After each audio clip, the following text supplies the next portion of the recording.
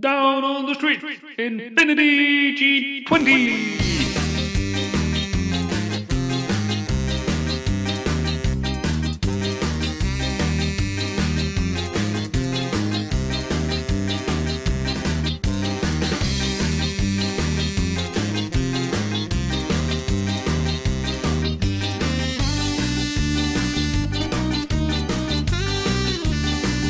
Infiniti G20.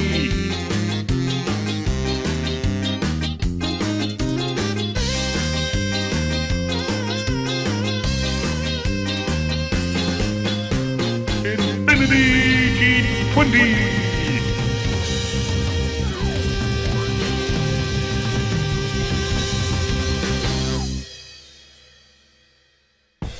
So now a bit more serious. I found this Infiniti G20 parked next to my hotel in San Mateo, California.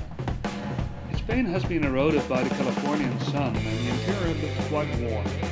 Not only was the paint peeling off, but someone did a very dodgy job covering this up by adding a black layer of matte paint, basically converting it to a two-tone scheme.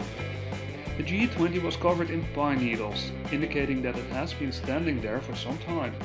Well, at least not longer than September 2015 according to Google Street View. The Infiniti G20 was basically what everybody outside the US calls a Nissan Primera P10. The Primera was actually targeted for the European market but sold in the US as born in Japan, educated in Europe, now available in America. The big difference between the Primera and the G20 was the choice of engines. Outside the US, smaller, less powerful engines dominated the market, with an optional SR20DE on the GT and the ZX model.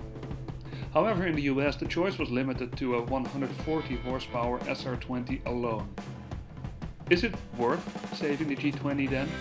Well, in Europe we tried to save the GT models, but in the US this is hardly a rare vehicle, so I would say no.